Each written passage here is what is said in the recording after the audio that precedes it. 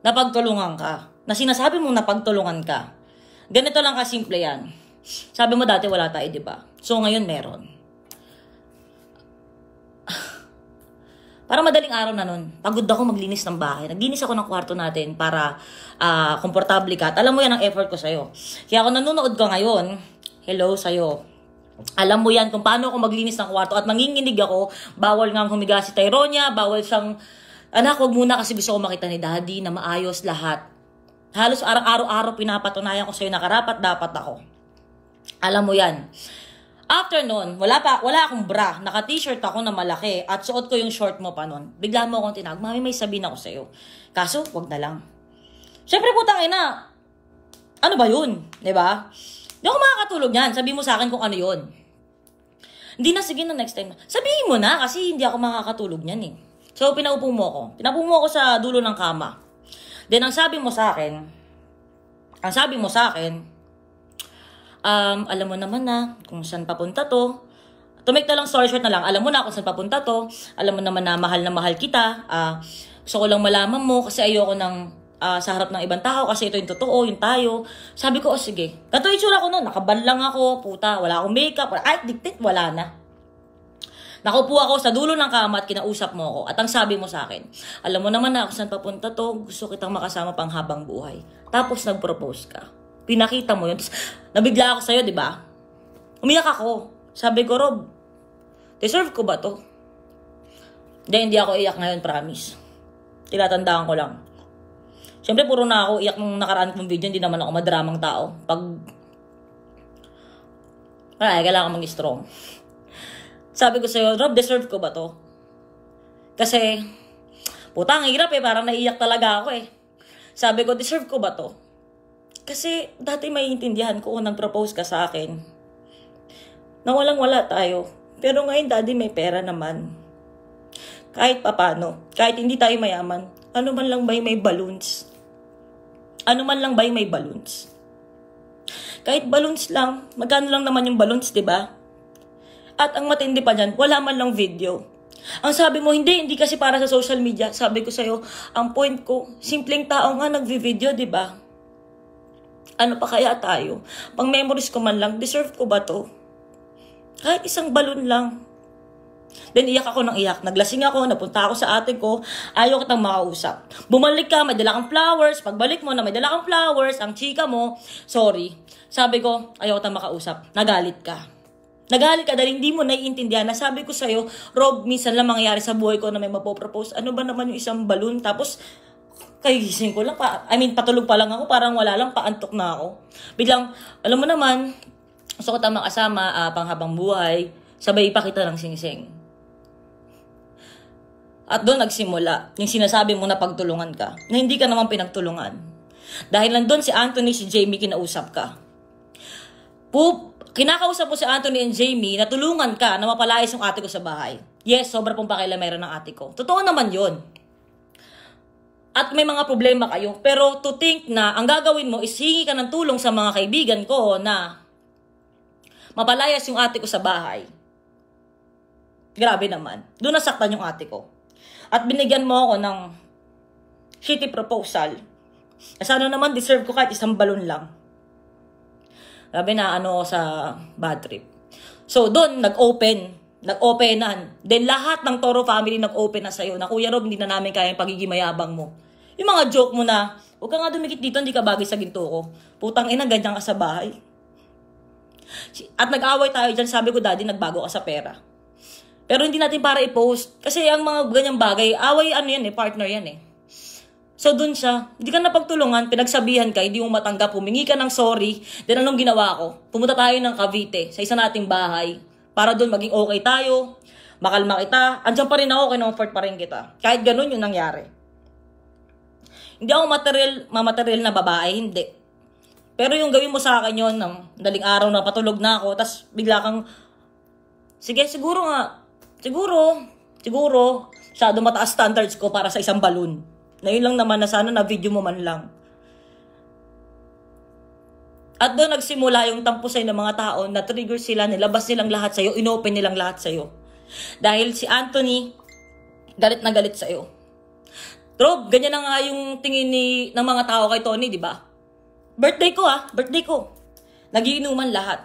Hoy, Pokpok! Kung tawagin mo akong Pokpok, sarap na maraming tao. May nakita ka? May napatunayan ka? Ganun ka kabasto sa akin.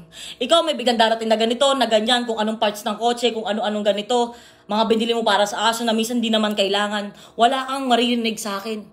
Pero putang ina, ako bumili lang ako ng para sa uh, sopa, para magmukha maayos yung bahay. Putang ina yan, hindi nagsasabi sa akin ganyan, pero putang ina ATM ko. At huwag mo sasabihin sa video mo na, sa video mo na parang, ah, uh, hindi naman ganito eh, pinahawak kasi sa akin ni Tony, hindi. Maraming beses na kinausap na kita regarding sa ATM ko na gusto ko namang maranasan dumaan sa palad ko yung pera. Gusto kong mangyari na mahawakan ko yung ATM ko at binawi ko sa'yo. After two days, kinausap mo ulit ako at anong nangyari, nasa na naman yung ATM. Sabi mo ikaw magwi-withdraw, uh, ikaw ang ikaw ang kikilos, ikaw dapat ang ganito. Na lagi kong iniiyak sa iyo 'yan. 'Di ba? Lagi kong sinasabi sa iyo na, Rob, akin ng ATM ko. Na minsan sasabihin ko, ba magda-drive ako para makuha ko yung lisensya ko. Kasi andun yun sa maliit akong maliit kong wallet eh, 'di ba? Kaya andun sa iyo 'yun.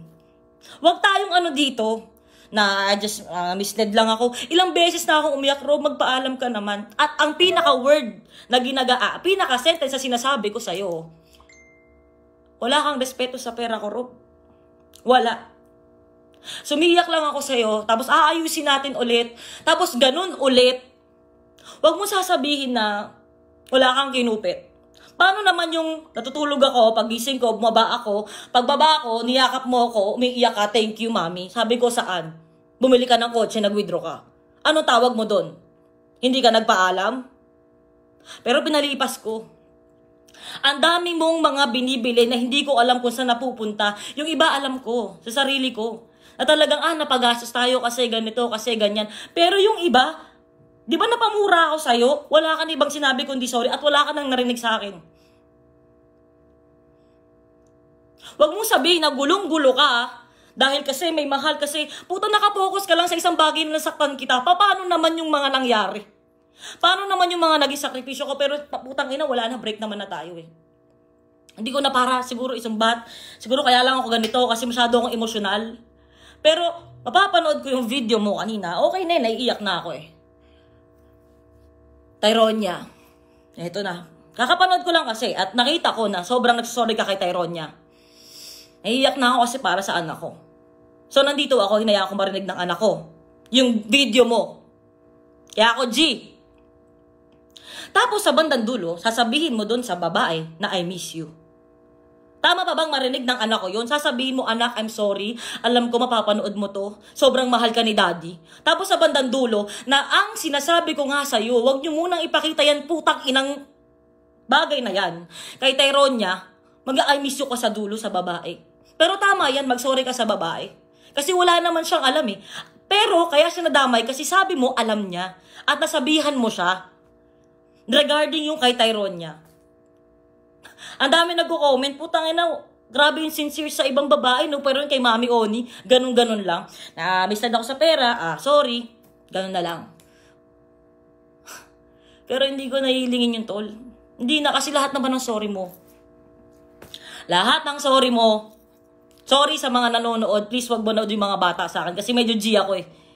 Huwag mo nang sabihin na sorry Tyronia. Tapos papakitaan mo na naman ng, ng ganun. Paulit-ulit ako. Lagi mo sinasabi na wala kang ginawang mali. Ang punto ko nga, wag mo ipakita sa ganun sa bata dahil putang ina kung ako, kakayanin ko, yung bata, hindi pa nakaka-move on. Ikaw nga putang ina mo, Lodi, kitang bilis mo mag-move on. Idol kita. Partida ha, partida. Gusto mo akong pakasalan? Two months. What the fuck? Diba? Ganun. Huwag mo nang linisin yung mga bagay na nagawa mo noon. Uh, thank you sa family ko, lahat ng mga ginawa dito, uh, galing sa pera ko. Excuse me, yung mga pera pumasok sa video mo, wala akong nakuha kahit piso. Na lahat ng sponsors ko, doon pumapasok ang pera sa bangko mo. Wala akong nakuha kahit piso. Nung umalis ka, wala. May binawi ako, wala. Huwag na magmalinis, tol. Kung talagang sorry ka, sana nag-PPM ka ngayon. Gusto kong makausap si Tyrone, sana ganun.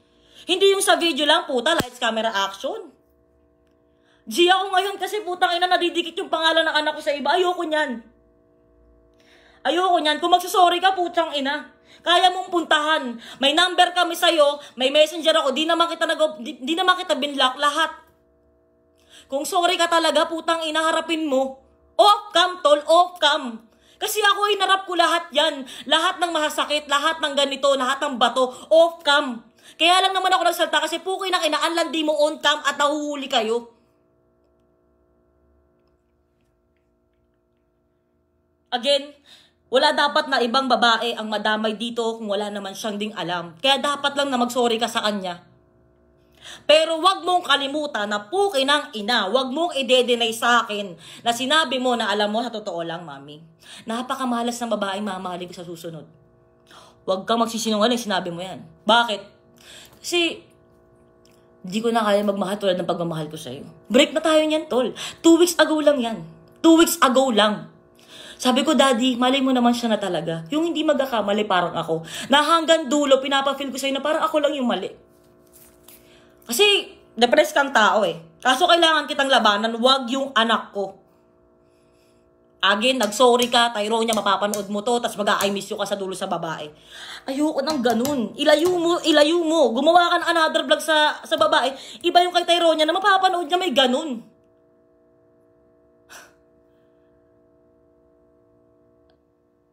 So, para sobra na tol eh. Sobra.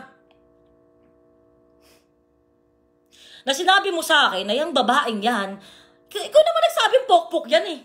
Hindi naman ako. Hindi naman ako eh. Di ba ikaw yan? Na pangganyan lang yan si ano? Pangganyan lang? Putang ina! May pangit tong sabihin sa totoo lang, pero mamatay man buong pamilya, ganun ka kamahal yung pamilya ko, ganun mo sinabi yun. Ikaw nagsabi niya, kaya sabi ko, wag din tayo mag-judge, ganyan. Basta mag-ingat ka lang.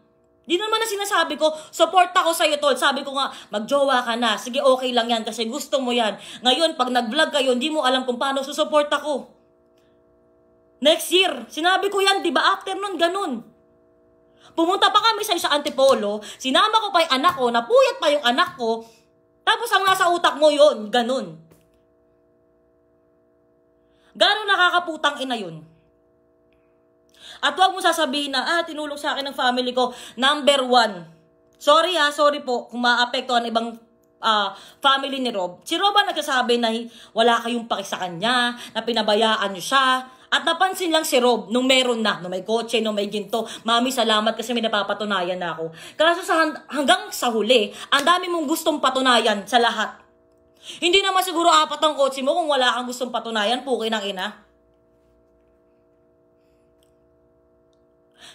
Nagreklamo ka sa bahay. Alam nyo kasi, si Tony, uh, I'm treating her like a queen. Pero hindi niya ako tinitit as a king noong mga bandang huli. Ano sabi ko sa'yo, umiyak ako. Daddy, bakit ganun mo ako kausapin sa kanila? Sabihin sa kanila, kung i-queen ako at king ka, asan po yung kingdom ko? Hindi tayo makaipon para sa bahay. Bakit? Ang dami mong shit. Ang dami mong ginagastos. Hinaya ako sa yung ATM ko, nag-aaway kami ng ate ko. Inaway ko ba yung ate ko na huwag kang makikialam sa pera namin kasi sa amin to mag-asawa? Asan yung kingdom ko kung queen ako, king ka? Eh puta, saan tayo titira sa apat na kotse? Ito, may sabi, mag-move on ka na lang. I'm trying to. Tinatry ko. May mga rules lang naman ako na ayoko maapektuhan yung anak ko. At hindi po ako naghahabol kay Rob. Pero oo, marami pong moment na umaasa ako.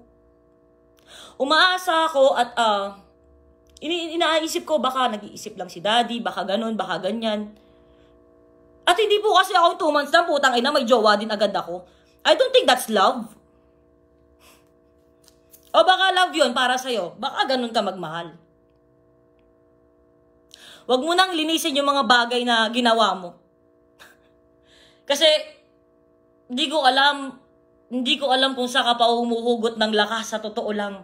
Na sabihin yan sa video na ito lang naman yung ginawa ko, din ito lang naman, tapos yung ganyan, putang ina, ginastos mo yung pera.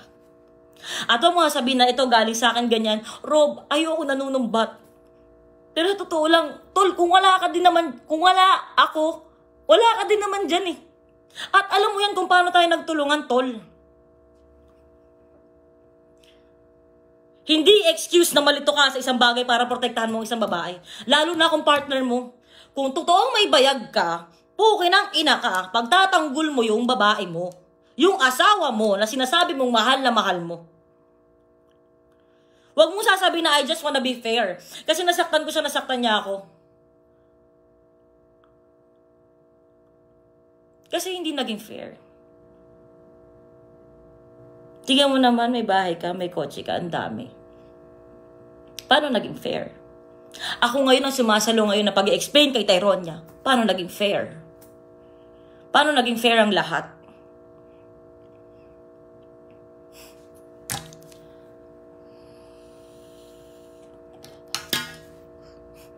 Tinis ko yan. Hanggang kanina, ang dami nag-message sa akin ng mga kaibigan mo. Alam mo, grabe naniwala kami kay Rob. Sinisiraan mo ako sa mga kwentong mali. Nanahimik ako, Rob. Kasi gusto mo yan, eh. ikaw yung kawawa, ikaw yung biktima, ikaw yung ano, dapat bigyan ng, alam mo, atensyon. Alam mo yon Gusto mo yan, tol, eh. Gusto mo yan. Pero hindi ako ganun. Ayoko na kinakaawaan ako, ayoko na ganun. Gusto ko, good vibes lang, tuloy sa buhay, ganito lang tayo. Pero wag mo, wag wag ako. Wag ako. Nakafocus ako kay Teronia, pero gusto ko lang malaman nyo na pag nadadamay ang pangalan ng anak ko, konting kibot, puputak ako ng puputak na parang gago dito. Na nakaharap ako sa cellphone ko, nagmumura ako dito. Talagang last mo na yan, yung video mo na yan, last mo na yan dahil putang ina, pag nag upload ka ulit, pagtanggol mo ulit yung sarili mo, hindi kita titigilan. Papatulan kita ng papatulan. Kung gusto mo mag-video ng ibang bagay, wag na yung skiteronya. Dahil sobrang, sobrang galing mo umarte, tol, promise. Kasi yung mga bagay na ganyan, hindi naman nakakailangan on cam. Kailangan yan, tawagan mo. Tawagan mo si Tyrone, tawagan mo. Kung kain ka pride. Kung talagang gusto mo mag-sorry sa anak ko.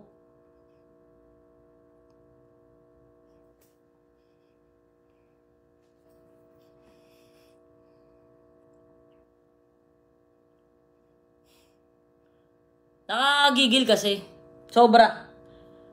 Again, wala akong ano ah, wala akong shit na ah, si Rob, yung mga kino-comment na tinatag sa akin ngayon, ah, hindi siya ano, hindi siya parang nag-sorry sa'yo, no, nakakaawa ka, Tony. Wala na akong paki. Naawa na lang ako sa anak ko, huwag mong ganyanin. Ayoko sanang makipagsumbatan, ayoko, yung sinabi mo na yung kotse, ah, bibigay ko na lang kaysa masumbatan ako, ganyan. Wala naman dapat ganun, dahil wala akong binabawi sa'yo. Tulong ko na yan sa'yo. At, ngayon na hindi mo kinakaya yung bills mo, tama yung sinabi ng ate ko, malalipat na sa ibang babae ang sumpa, ang trono. Sila ang magbayad ng bills mo. Good luck sa kanila. Yun na lang ang masasabi ko. Love you, Nay. G ako eh. Alam mo yon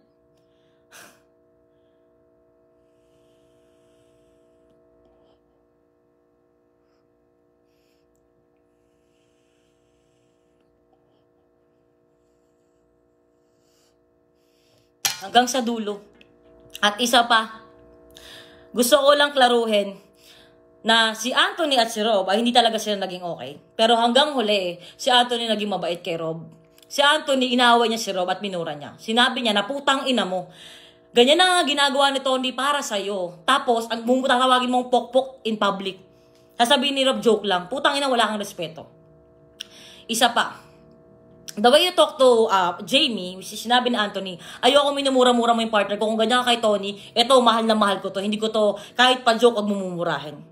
At isa pa, sinabi ni Anthony na tol, sobrang mali kasi yan, alam mong loyal akong tao. Tapos sabihin mo, eto mga babae sa ano, sa Instagram. Konting kibotara, mga babae tayo, ganun yung mga joke mo. Na, wag mo akong Huwag mo akong papaandaran dahil matagal na ako nagbubulag-bulagan sa'yo. Mami, ikot ko lang yung kotse ko kasi kailangan. Ikot ka ng kotse mo 3 hours. Di ko alam saan ka nagpupunta. An andito lang ako, oh. Andyan ka, puro ka cellphone. Ang dami kong na nahuli sa'yo na may pinapalo ka sa Bigo.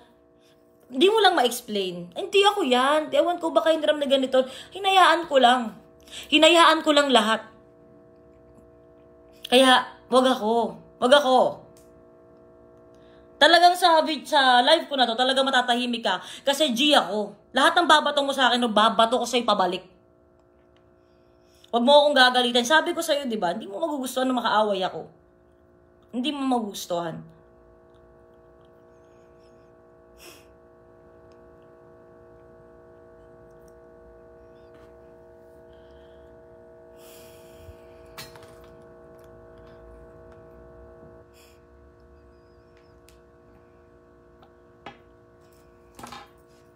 At kung nanonood ka ngayon, isang malaking pack you sa'yo. Pack you kagago. Pack you. Ang yabang ko pa dati, di ba? Ang galing ko pa, di ba? Ito, si Rob, ganito, ganyan. Nung una, oo. Yung mga sinangla, binenta mo yung watch mo, nasang lato, lahat, ganyan.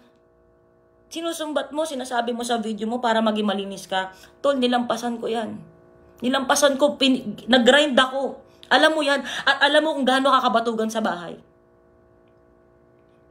Alam mo kung gaano ka kabatugan sa trabaho. Pero binalik ko, kasi sabi ko, ito na talaga yung para sa akin. Kasi ano kay, talagang nagsasakripisyo ka, mahal na mahal mo ko.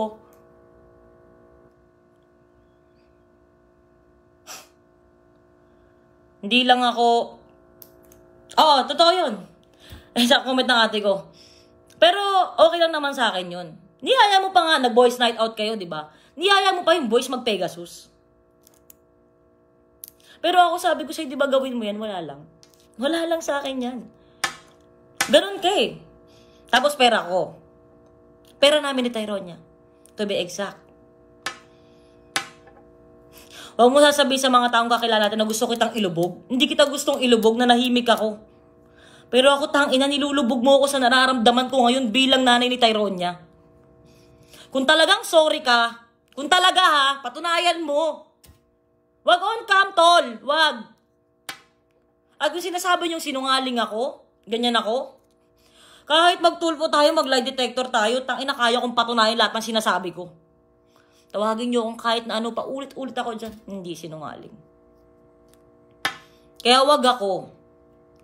Kung may iba ka ng puking kinakantot, pak, manahimik ka na, total nilalabasan ka naman. Ganun ako kabasa sa'yo ngayon. Manahimik ka na.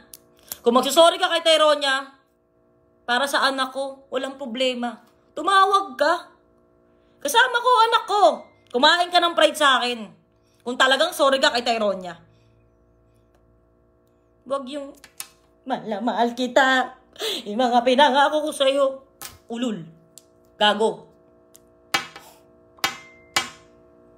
G ako, di ba? G na G ako. Hindi ako nandito para magmalinis ha. Hindi ako nandito para magmalinis. Hindi ako nandito para, ay, ako yung kawawa. Hindi. Inaamin ko yung mga pagkakamali ko. Inaamin ko yan. Sinabi ko yan. At, totoo yung sinabi ko, yung status ko, na huwag niyo i-bash yung babaeng walang alam. Pero kasi ang sabi sa amin, ay alam naman ng babae. At todo suot ng damit sa my story. At nakikita ng anak ko dahil syempre lang, o online class yan, CCR lang ako, mag-Facebook minsan. Pinagdidelete ko na install ko na nga lahat ngayon eh. Kasi kino-comment sa page niya. So, wag niyo siyang i-bash. Kasi, wag niyo na ikumpara. Wag niyo ako ikumpara. May ibang mga babae na may mas maganda, may laging ganun. Pero wag niyo ako ikumpara sa kanya. Wag. Kasi, hindi maganda sa feeling ng babae yun. Pero hindi ako magsasorry sa'yo sa babae yun. Kasi, wala. Hindi talaga ako dapat magsorry sa'yo. Kasi ang alam ko naman, alam mo. Ang alam ko naman, informed ka. At wala din naman akong alam sa'yo. Sa totoo lang. So kung nadadamay ka, may utak ka naman, ah, may, kung may pride ka, alam mo na kung dapat gawin mo. Kasi ako nawalan ako nun, baka ikaw meron.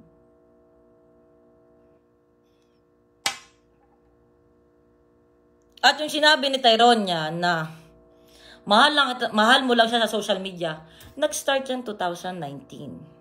Sinabi niya ng 2020. Babawi ka, mawawala ka. Babawi ka. Ganun talaga. Mahalin mo yung mga kotse mo. Isama mo sa paglibing sa'yo hanggang sa huling hininga mo. Sana maging masaya ka.